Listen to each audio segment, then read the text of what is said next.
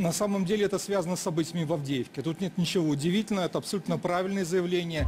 И, кстати, возобновление переговоров в нормандском формате, потому что два месяца, э, фактически с конца ноября, начала декабря, никаких официальных переговоров не было в этом формате.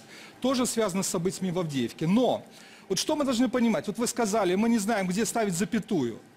Но проблема в том, что не мы можем поставить точку.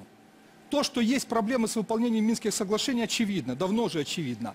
Но если мы первыми поставим точку, скажем, нам такой Минск не нужен, то мы будем выступать в роли поджигателя войны или продолжателя войны.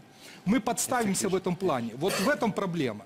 И э, для нас Минск это не стратегия, э, это не формула мира. Это, кстати, было понятно еще тогда. Это скорее тактика.